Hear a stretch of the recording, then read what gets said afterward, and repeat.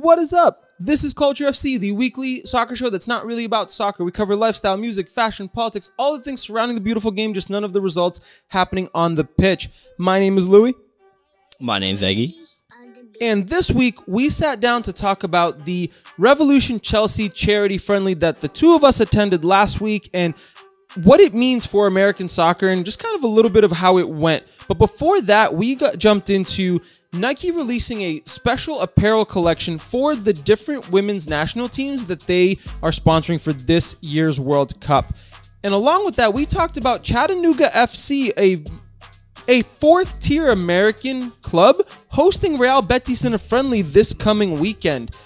This is a pretty big Spanish club making the trek overseas to play a team from a smaller city in Tennessee. And we talked about what that means, what it is, and really just try to dissect that a little bit. If you enjoyed this episode, we really appreciate an honest review on your favorite podcasting app. We are always trying to get better at doing this show, and that is your best way of letting us know how we are doing. If you want, you can even send us a DM or an email of how we can get better with the show. We are always listening. You can also follow us on all of our social medias at Trebl Soccer, as well as checking out our YouTube page where we post weekly videos about American soccer, and that is also at Trebl Soccer. I had a really fun time recording this episode, and I think you're really going to enjoy it. So, enough of my rambling. Let's jump into this week's show.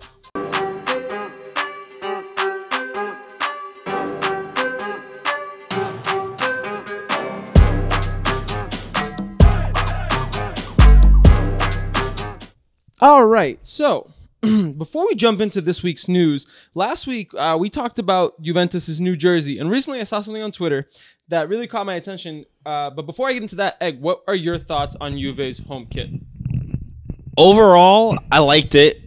Dope look, nice little pink stripe down the middle. Shies away from tradition, but I was surprised at first. I was say I was surprised at how they shied away, but after seeing them change their cl- their club crest recently, they're clearly going for more modernization of things for some reason. Don't know why.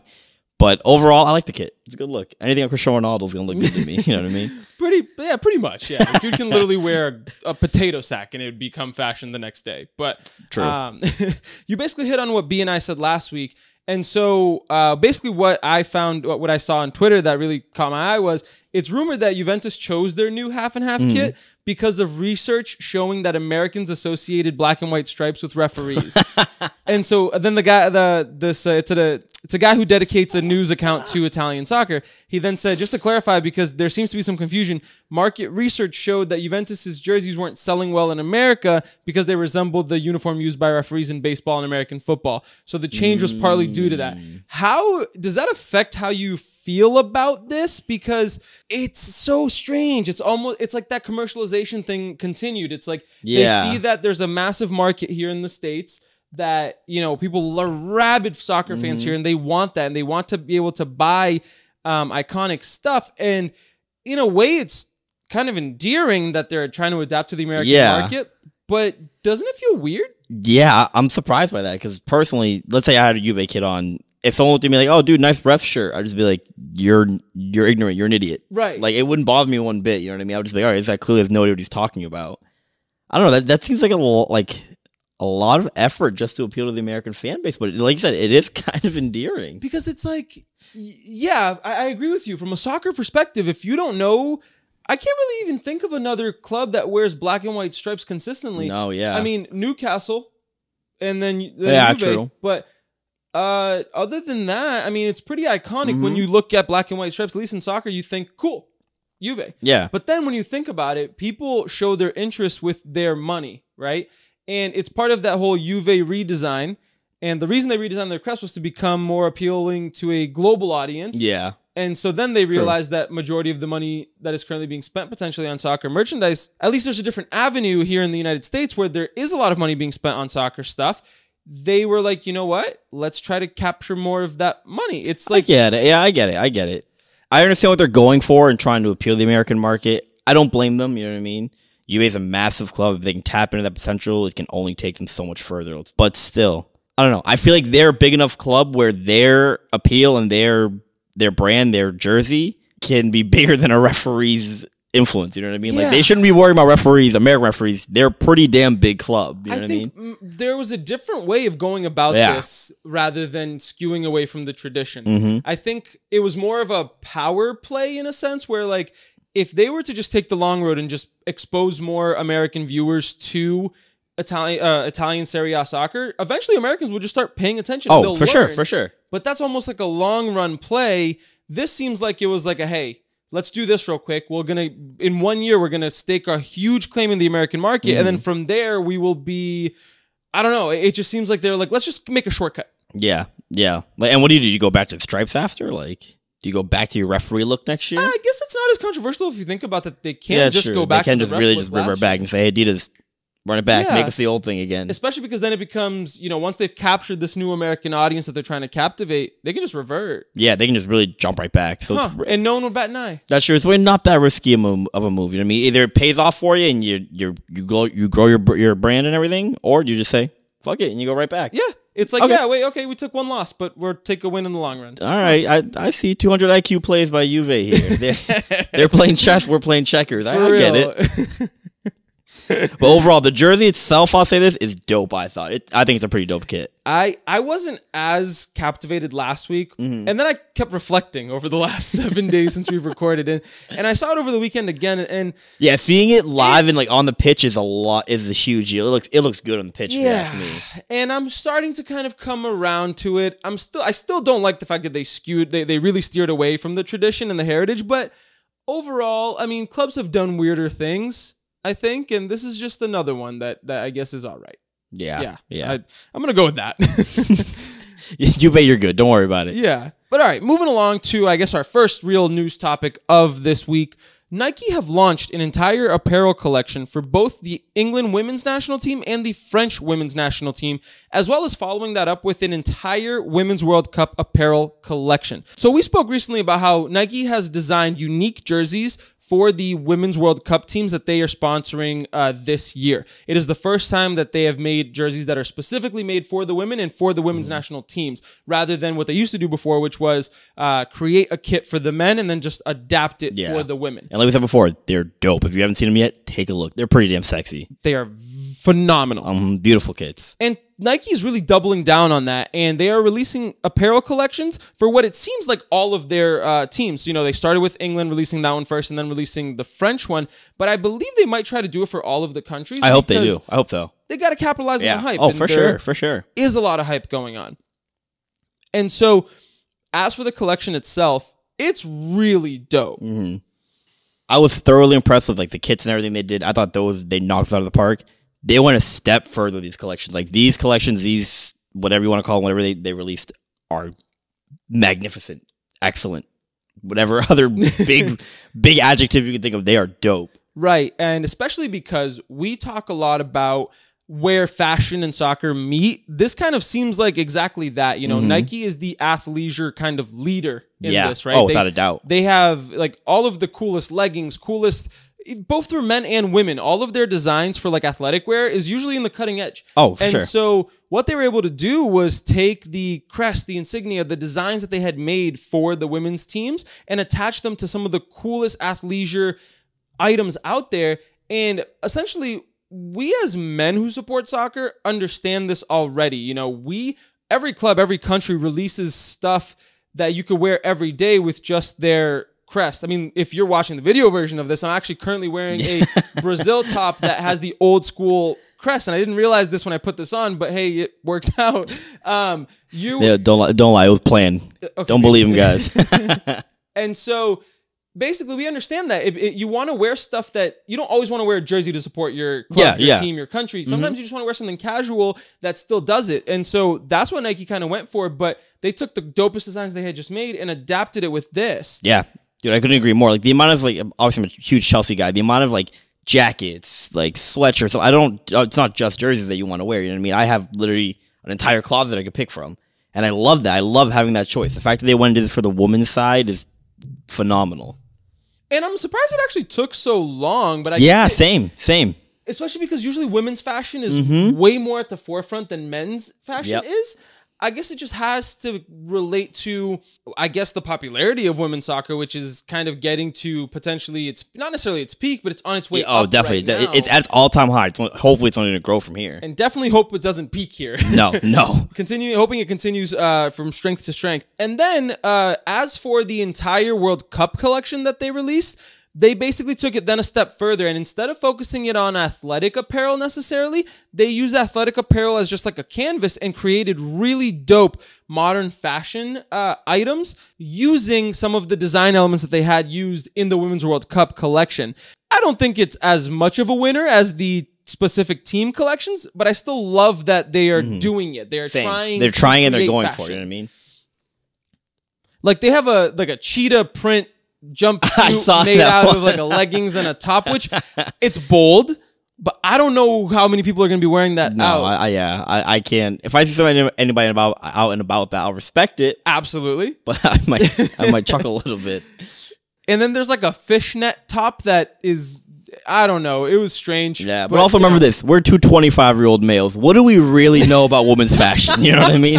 So maybe we're saying this stuff, and this could be the coolest stuff Nike's ever let out for women, and we have no idea.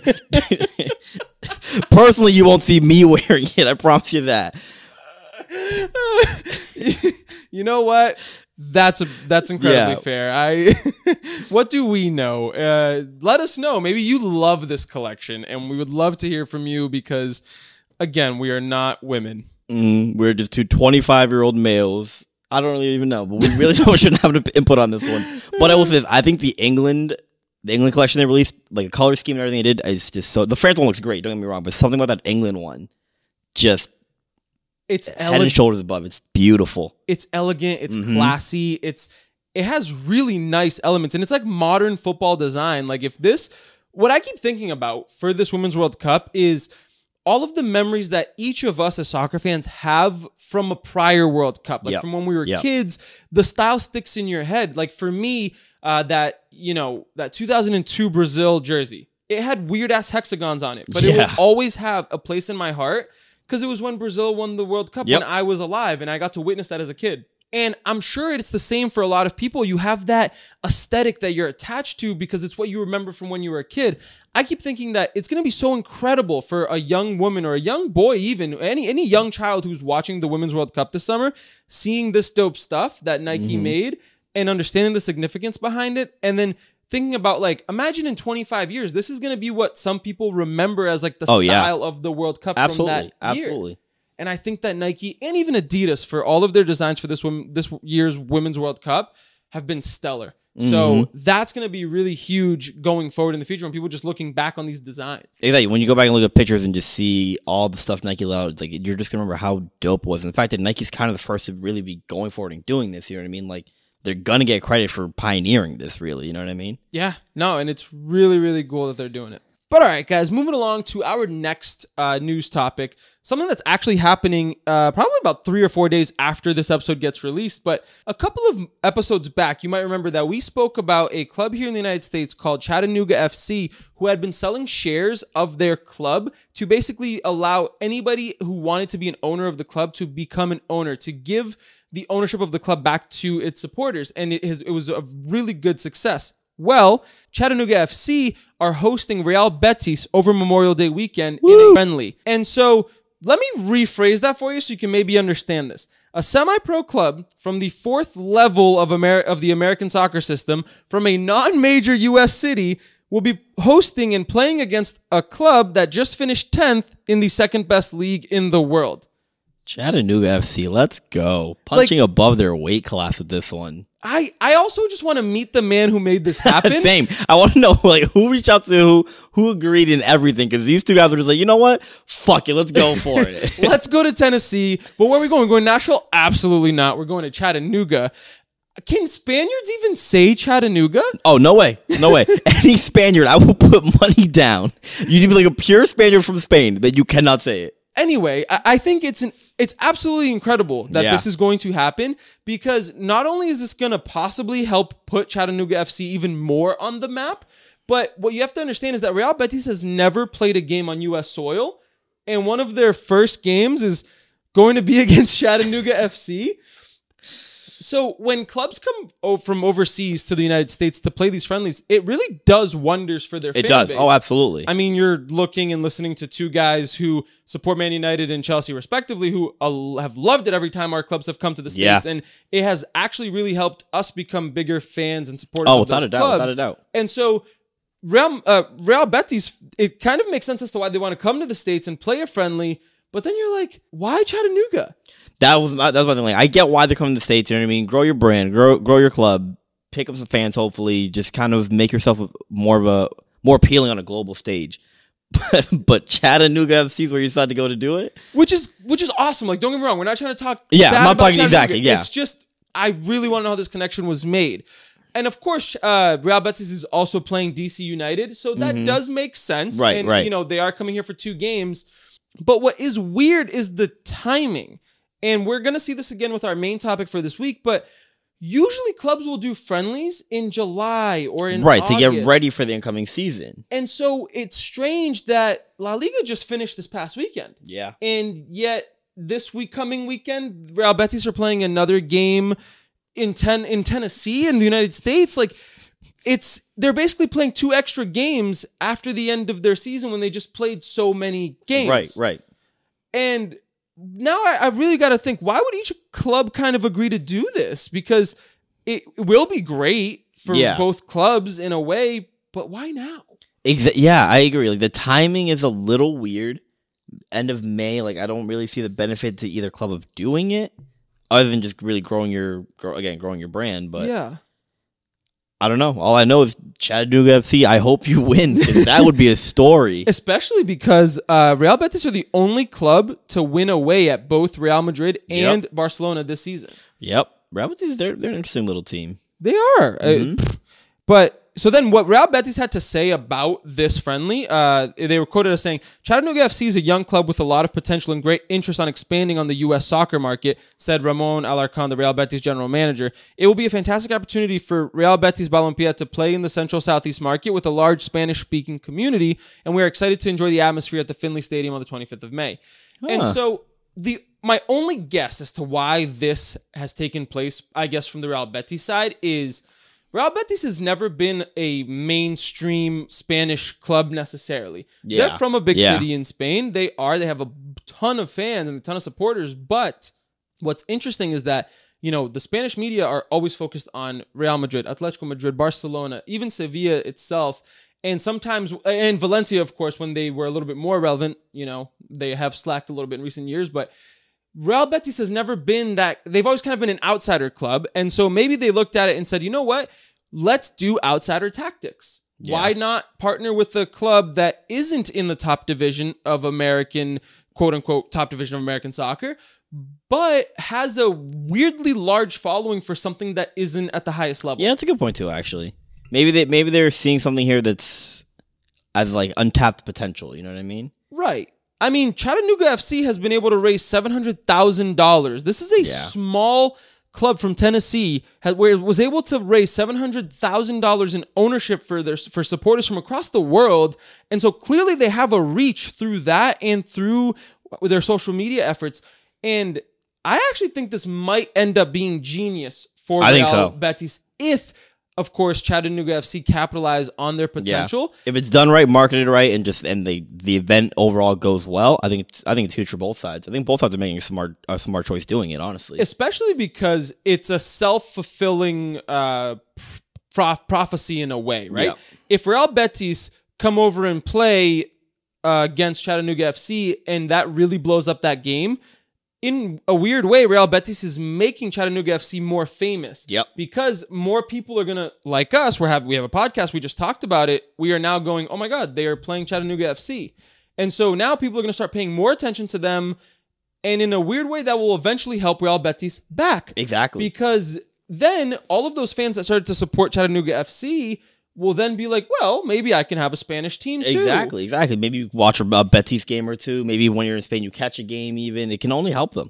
And out, so it can only help. It's it's a sneaky good move. Uh huh. Uh huh. They hedge their bets. They're going to play us an established side in the MLS and DC United, but they're also like, let's take a riskier move. Right. Just like from from looking at it from the outside looking in, you're kind of like, huh, weird move. Like, why would they do this? Once you really like dig into it and like look at it, genius by Pretty both much. sides. By both sides, So it's it's a win win no matter what happens. You, you as long as you put on a good event, have have a good game, good good friendly, it's a win for everybody. Absolutely. And, you know, Chattanooga FC has proved that they can pull in the numbers because a couple of years back when they were in the final of their uh, league, they pulled in 18,000 people, wow. which for a soccer match in attendance, yeah, pretty damn no big. matter where you are Flat out for a soccer match in Tennessee, in, in, pretty big. for, you know, for a soccer match in Tennessee, that's enormous. Yep. For a soccer match anywhere else, that's still very good. Yeah, You yeah. know, you have big clubs in Europe that unfortunately sometimes don't pull in 18,000 mm-hmm. people. No, not at all. Okay, I'm not talking upper echelon, but Right, I'm right. thinking, you know, sides that are in the lower half of the Prem, sides that mm-hmm. are in the lower No, half Chattanooga of La says what, Liga. in the fourth tier of the of the of the U.S. yeah, they yeah, technically like I'm, league I'm sure there's four, there's teams in the fourth tier of- in England that aren't pulling in eighteen thousand. Sure. absolutely not. I'm sure of it. And so either way, I think this is a phenomenal play by both sides, and I hope this game goes off very well and without a hitch. Uh, and I can't wait to hear about the aftermath of this because, like we said, it could be a very sneaky good play by Real Betis. Yeah, I agree.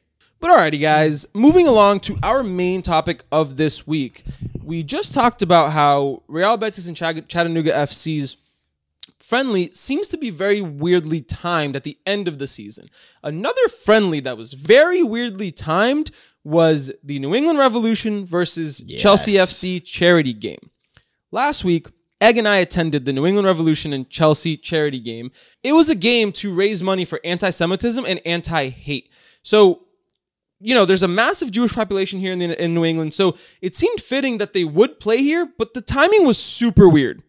It was on a Wednesday night in the middle of May, three days after the Premier League season had just finished, and exactly two weeks before the Europa League final that Chelsea has to fly to Azerbaijan to play in. Yuck. And so, as for the Revs, they had just fired their head coach and were playing on a Wednesday night between two MLS games on Yeah. either weekend.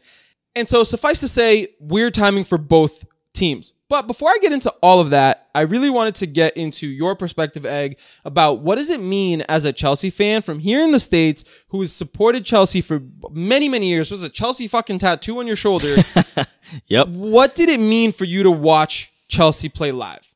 Flat out, it meant everything to me. Like, I mean, you you saw it. as soon as that game ended, like the players coming around to applaud, even trying to even get down there and even getting to meet David Luiz and Marcos Alonso. Like, it was flat out. I was like a five a five year old kid on Christmas morning. Like, I'm a 25 year old man. Don't get me wrong, but I've seen those guys, seeing my team and cheering these on, these guys on for 10 years now. You know what I mean? Finally getting a chance to see them live, and sure.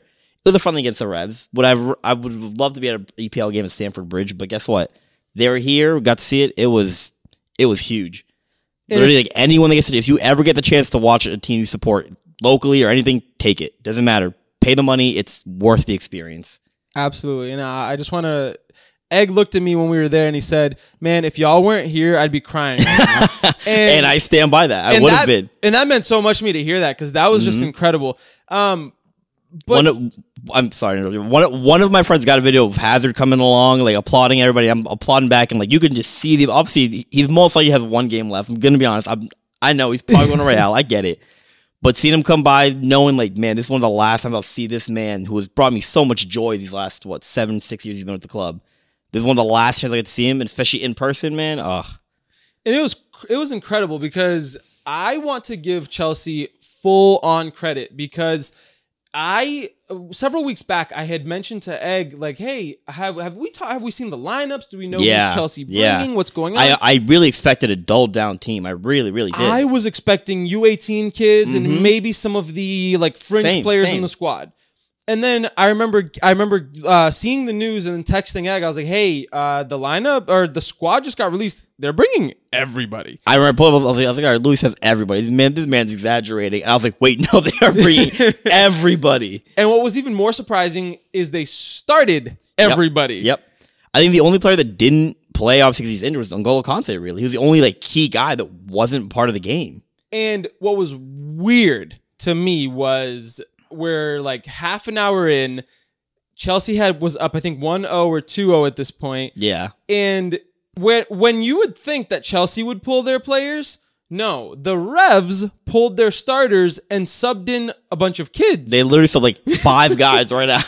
As if they were the big team. I was like, what are you guys doing? Stop it. It was, and I looked over at Egg and I was like, well, "This is so weird. This is such a strange thing that's going on. It's almost disrespectful to from the Revs to I was sitting there. I was like, "Hey, hey, hey, hey! What are you doing to my team right now? Stop that!" Um, and that was incredibly weird to see. And Chelsea kept their strongest squad out until halftime, and then Yeah. they made some subs at We half. sa- yeah, we made three subs. We subbed in Emerson, Willian, and there was one more subbed. I can't remember. off the top- Oh, Loftus Cheek got subbed. Which brings us to our next point, and this was probably the biggest red mark Oh, for sure. on the entire game because it this was what should not have happened and what a lot of people were kind of warning Yeah. that happened.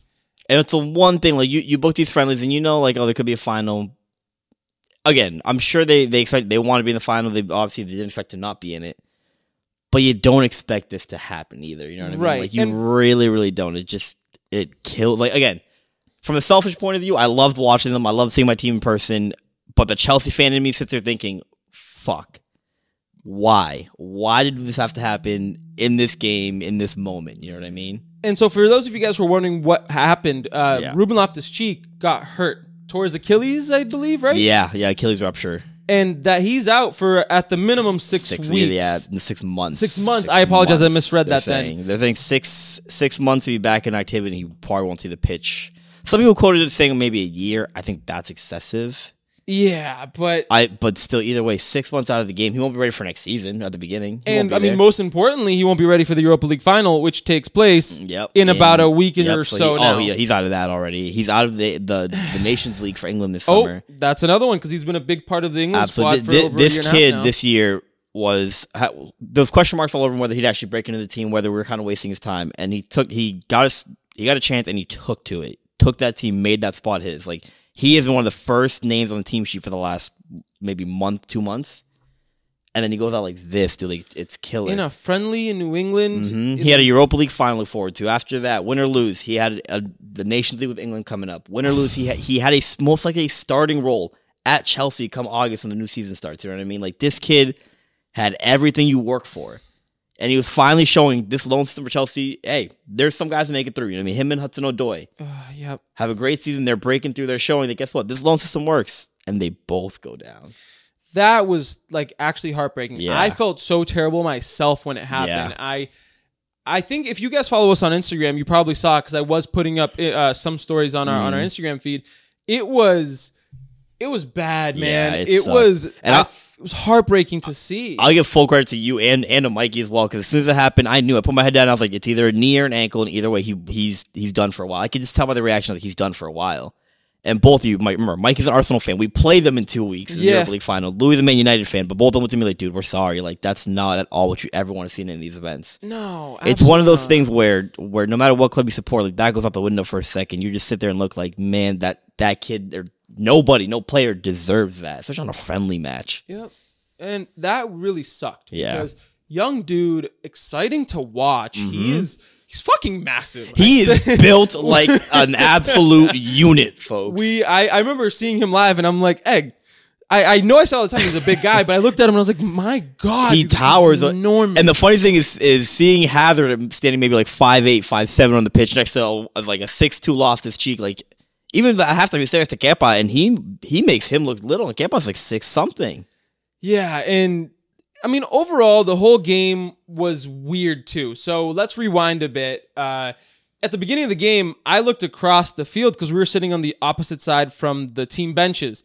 And I'm looking over expecting to find nice benches where the team Oh would my sit. God, that was- you know, as like a team bench because Yep. it's a professional team. Um, and then I look across the field and I see metal fucking high school bleachers, like the kind that you see when you watch like a JV Yep. team play. the kind that they have in my local park right now. yeah. And they, so the New England Revs bring Chelsea from England to New England three days after they play their last game in the Premier League and two weeks before Europa League final. And they make them sit on a cold ass steel bench in the middle of the rain and they can't even afford seats. Yep. Yep. That was a bad look for everyone for involved. sure. For And sure. this game was televised on Fox Sports 1 in the United States. Yeah, really like the Revs lately have some pretty sh- pretty glaring knocks on their uh, reputation because Yeah. that wasn't very good. I saw that, and I think you pointed out during the end. I just, I honestly couldn't believe. It. I was like, no way, like you couldn't have gotten something. But I, I find it hard to. You've known this game was coming for months. That's the best you could come up with. I've been advertising this game for Yeah. probably since the beginning of, of, of the Premier League last Oh yeah, season. it was for like that. so that game without a doubt had more attendance than any Revs game this season. Yeah, without a without doubt. a doubt. Without a like you're doubt. telling me you couldn't clean that look up just a little bit. Yeah, uh, I guess it seemed like they wasted all their money bringing in real grass. to put over that Apparently, pitch, yeah. but- oh my god. Um, but then you you got to be asking, right? What was the purpose of this? And I was I Egg and I mentioned it during the game to each other that Roman Abramovich has been having a weird kind of a couple years. Um, I think Egg could probably elaborate a little bit better on this than I can, but essentially he is he's not allowed to live in England anymore. yeah, correct? yeah. He's banned. I think they rejected his visa yeah. due to do some issues. So he was planning a huge, or well, obviously the club was planning a huge stadium renewal, renovation. The specs looked amazing, looked gorgeous. Then they denied his visa, and he shut the project down. And so Roman Abramovich, if you don't know, he's a Russian oligarch, one of Yes, the yes. richest Russian people. I think at one point he was like the second richest person in Russia. He was up there, yeah. He might Um, have dropped a little bit now, but he was definitely up there at one point. and so he's not living in Russia anymore. And he, like you said, he was denied a work visa in Yep, England. yep. And I think the reason was for just being sketchy. And I think I Something think, like I that, think yeah. the UK was just like, yeah, no, you're not living here anymore. He And- he was he's been a staple at Chelsea. He's like he's he has his box, his little Oh, seats. always and there. He's almost at every home game, and I don't don't think we've seen we haven't seen him all this season, obviously, because he he just can't. He can't step He foot can't in England. it. And so he's been living, I believe, in Israel, Yes. if I'm not Yep, mistaken. that's right. And so, why anti-Semitism? I, I understand the anti-hate portion of the Yep. campaign, but is there something specific about the anti-Semitism? Do you think, or is it just because maybe he's trying to appease the people in Israel to kind of like him more and allow him to live there more, or, or what do you think it is? I think it's a little bit of both, really. I, I think it's, it definitely has to do with his current location of being in Israel and everything. It also might be a ploy to clean up his image Okay. a little bit because I mean he owns a club. He clearly wants to make this club something. He has a huge stadium renewal, kind of just sitting there waiting for his approval to go. yeah. he wants that all to all to go through, obviously. So if he cleans up his image, does things like this, helps him in Israel, hopefully helps him in England. You know what I mean?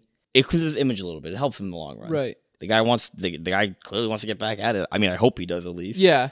Because it's funny, right? You you have to st- sit back and just analyze the why of this whole thing. Yeah. Yeah. and you're like, why ever would Chelsea play the Revs not for like a preseason friendly, but a end of season friendly for anti-Semitism? Mm-hmm. yeah. And also remember, he donated a million dollars out of his own pocket to a foundation, like Yeah. for this game, pretty much. And so they during the game they announced that they were able to raise four million dollars for anti-Semitism and anti-hate uh, charities, and that was incredible. It was really cool, and it really brought a lot of attention to that. Especially like I said, there is a huge population, a huge Jewish population here in New England, and so that must have been really cool to be able to participate, right? Because it just brought a lot of attention to that, especially because I feel like hate speech and anti-Semitic speech is on the rise once again, unfortunately. So Unfortunately, yeah. it was cool, but this game would have made more sense if it took place in England yeah. because you know Chelsea's an English club; they might be able to have hosted this game. Exactly. But then you know, since Abramovich cannot step foot in England, they were like, "Well, let's bring it to the states." Exactly.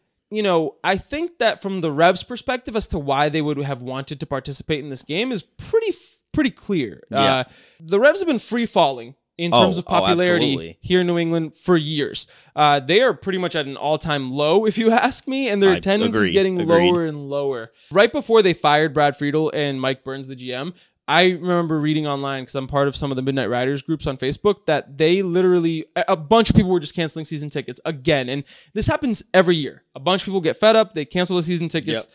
Then the Revs front office will come out with some tactic, some ploy to bring people back in, and then some people will sign up again. Usually, this takes the form of, hey, we're about to build a stadium closer to Boston, which they say every year for eight years. And then people get excited for a little bit, and then nothing happens. Nothing ever happens. Never. And it continues, right? With this, it seemed pretty, pretty, e- pretty easy to understand because when people stopped paying attention, uh, probably ten years ago, for those people who loved soccer in, in New England, they, when they stopped paying attention to the Revs, was around the same time that the Premier League started to be readily available in America. Yeah. And so a gulf kind of was created between the people who support the Revs in New England and the people who support soccer in New England. There are very two distinct Oh, groups. yeah. They are very different. They believe very different things about soccer. And so the Revs front office probably looked at that and said, hmm, this is an opportunity where we can take one of the best English Premier League sides of the last 20 years, Yep. bring them to the States where we know a bunch of people love them, and hoping that by them coming to Gillette Stadium to a technically a quote unquote Revs game, it'll make people care more about the Revs. Mm-hmm. And so, in other words, standard play by the Revs, Yep. and anyone who's followed the Revs for any length of time recognizes it all too well. But I don't know how well that worked out because while there were a lot of people at the stadium, it was by no means full. Yeah. You know, Yeah. There I, I would have expected. I, I'll be honest. I would have expected a little bit more of the seats to be filled. So, you know, in my history of going to soccer games at Gillette, I've been to a couple of other friendlies as well. Mm-hmm. When you and I went to the Man United Revs game Yep. many, many, many yeah, moons ago, six, seven years ago, something like so that. So long ago, We went to a friendly there too. It was Brazil, Portugal, if I'm not wrong. we did Brazil Portugal, which was that game was packed. That, I oh remember yeah, that. it was lit because it yeah, was in we were sitting all the way up top because it was so damn busy. Oh, yeah. So packed. dur- we, there's a massive Portuguese Oh, yeah. population in New England as well, and a massive Brazilian population in New England as well. Mm-hmm. So then, when they brought those two national teams, sold out Gillette. Yeah. When the Man United game happened, it wasn't necessarily, I believe, sold out, but there was probably forty five thousand people there, maybe something Yeah. like that, if I So, remember yeah, it had to correctly. be. And then the other game that I've personally been to was the Cruzeiro versus Revs game, and that had a huge uh, support group Yeah. of people there too. And so it was weird to go on this game to this game and see that there wasn't as many people as I expected. Of course, again, the timing didn't help. It was a Wednesday night at eight Exactly. o'clock, Exactly. where they could have picked a more prime prime timing to do it, but yeah. And so, did both clubs achieve kind of what they wanted from this? Like, barring the injury, taking the Loftus-Cheek injury out of it, because obviously if you factor that in, no, we did not achieve what we mm, wanted. Absolutely not. But I'm going to take that out of it for the sake of the question. I'm going to say overall, yes. I think we knew coming over that, and at the time when we were doing it, that we weren't we weren't looking for some huge sort of payday or anything like that. We weren't, we weren't looking for anything like that. We were just looking for the for the kind of the media attention and the, the cleaning up of, of Abramovich's image a little bit. And I think we got both of those. You know what I mean? This game was was widely talked about. Unfortunately, now it's for the injury, Yeah. which sucks. That overshadowed what both clubs are doing. and the good that this game did It was, and it will do. Because honestly, like the, the Chelsea players, there's a local school right actually where me and Louis went to middle school, Fuller Middle School, where David Luiz, Emerson Palmieri, and a couple other players went actually. You Really? hear about that? Yeah, you didn't see about No. that? Yeah, so um, they went to our fucking middle school and I didn't know about this. I was livid. Let me tell you, I didn't know they didn't even invite alumni. I would have been in there, but yeah, was- I'd be in. The, are you kidding me? yeah, it was actually it was uh, David Luiz, Emerson Palmieri, and um, Ruben Loftus-Cheek. Those three went That's to Fuller Middle. School. Yeah. And what's really incredible is that our middle school has a huge Brazilian population. Yes, so there's a reason that David Luiz and Palmieri were picked, without a doubt. which must have been so fucking incredible for those young kids. Oh, for sure. I uh, bet you they gained at least hundred Chelsea supporters for life from that. Oh, without a doubt. Let me. Just, I'm gonna show. I'm gonna show a quick video, guys. You can recognize the gym. It's our middle school gym with all the players in there. That is so incredible, man. No way.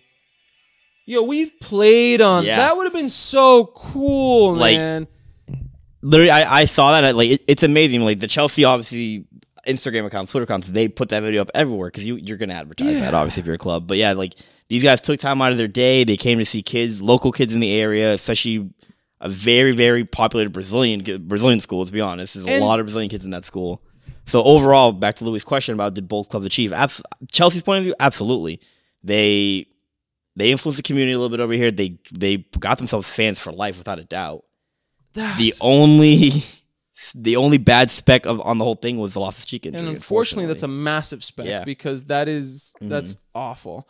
Just to talk about the whole thing about our middle school, for you guys to understand, you know, a lot of people when they come to New England, like they focus on the city of Boston or whatever, but you gotta understand that Gillette Stadium, where the Revs play, is not in Boston. No. it is a It is- 45 minute drive if you're lucky from. Boston to yeah, four guys being kind. Yeah, if you get it at any point where there's traffic, you are going to take forever to get in and out of. Yep. It is a Gillette Stadium is a very well built facility and place around it, But where it is is in the middle of nowhere, and there is Yep. one way in and one way out of this stadium. So And traffic is hell, organization is hell, things are awful. Where we live is also a half hour outside of Boston. So Yep.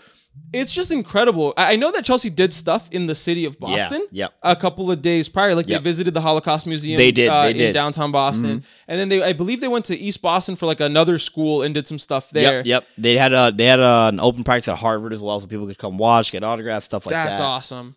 Um, and then for them to come out to the probably the biggest Brazilian community in New England Oh, without a doubt. just to do a middle school visit, that's just absurdly awesome. That's incredible. Uh, yeah, that's like I said. Back to your question, like Chel- from Chelsea's point of view, yes, it was absolutely worth it. I mean, even the Revs. You know what I mean? Like you, you brought a huge club like Chelsea. You put on a, a, a good game, good event overall. Like, there was no problems, nothing other than the bleachers. You know what I mean? We're being a little nitpicky with that one, but overall, I think both clubs, yeah, they they they achieve what they set out to do. You know what I mean? Both Chelsea got fans for life out of it. Revs definitely got a little media boost out of it. It was it was a good event for both sides. And I think that it worked out in terms of timing for the Revs because they had just announced Bruce Arena as the new head Yeah, coach. I actually thought that was yeah, I thought that was insanely perfect timing for them. And so now it becomes you have two kind of good stories to Mm-hmm. help boost your your ratings here after some shitty years. So, you know, I think overall good. I do wish there was more people there. And I wish it was a better organized event, but that is, yeah, you know, the the only yeah, honestly, getting into the stadium, I'll say was was hell. They had us drive. We did an almost entire circle around the stadium just to find a parking spot because they couldn't. They weren't letting you in certain parking lots, and it was that part was a mess. But when you got into the stadium and everything, it was a great time, great event. It was. And so then I, I wonder and I think about this, right? What's the impact of this on American soccer? Because, you know, we always talk about how there's these two distinct set of fans here in America, where the ones that support the MLS sides and the sides that support European clubs.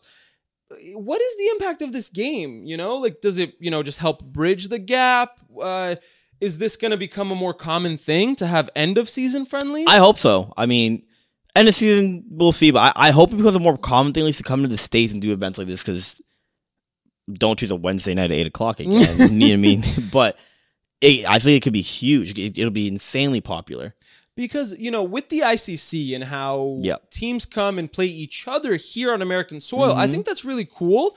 But a part of me would almost rather it be a club like Chattanooga FC or the Revs playing a big side because you're bridging that gap. Yeah. you're trying to bridge that gap rather than be like, "Hey, come see the best teams in the in the world play glorified friendlies." Mhm, Where neither of them really care and they're just. and neither really want to be there aside from the money. And so Oh, it's like, yes, they they bring massive attention. Hell, I flew to Miami, Florida to watch Juve play PSG. you know what I Oh, mean? That's it, it got my attention. It gets millions of people's attentions. It sold out the Hard Rock uh, Stadium down in Miami. Yeah, it did. I And it that. sells out every stadium. When Real Madrid played Man United in Michigan Michi- two years ago, Yeah, that had like almost, what, 100K people more, right? 109k, I believe. Oh, my God. And so, yes, we know that that is a massive record breaker, but I do hope that we start getting more friendlies where it's between an American side and a European side because that's how, okay, maybe the quality of play won't be great because it's a friendly, but I think we should be trying to build up American sides a little bit more. Maybe, Yeah. maybe not MLS sides. I'm hoping we start we start doing you know more Chattanooga FC versus Betis style games, but you know, I think it could be cool. I agree. I agree. Overall, I think I just become a Chelsea fan. I loved it, but I, I think it was huge. I think it was awesome, and I would love to see more of it. It's so great, man. I mean, it's just that feeling of just going to watch some footy. Like it just mm-hmm. feels great. Dude, nothing, nothing beats it flat out. It's so great. I don't care if it was a friendly or not. I had a great I said the same thing. time. That's why after the game, I looked at Mikey. I was like, "Hey, man," I was, like, "I know Arsenal's coming. I think it's like Washington or Maryland, something like that." I was like, "If you want to make that trip, Oh yeah, I'm so down. I told him sign me up, sign me up. Take a little road trip down to DC to watch Arsenal or Maryland to watch Arsenal. Same, why not? great. Why not? Sit there, make make some Chelsea chance after we beat them in the Europa League final. Come on, sign me up. Kidding, Mikey. I'm kidding. No, he's not. I'm not at all. Not one bit. But overall, though, good experience. Loved it. It was good. Loved it. Loved it. I would. Ugh. the dream is the next time it'll be at Stamford Bridge, but Yeah. I loved it. Couldn't So- have. I. It was everything I could. I asked for and more. Honestly, like again, like I said, it was like a little kid waking up Christmas morning. It was amazing. Yeah. Well, I think that's a good place to end it. Um, it was again, I personally loved it as well. Getting to go experience that was really cool. But Yeah. but yeah, I think this is probably you know good place to end it there. All right, guys. Thanks again for all you wonderful fans for listening. Let us know what you think. Let us know what you think of the of Nike's new women's collection, both the England, the France, and all the, the other ones they've done. Let us know what you think about these friendlies, like big teams like Betis playing smaller teams like Chattanooga FC. We think it's brilliant, but again, let us know what you think. And obviously, go Chelsea. We'll catch you guys next week.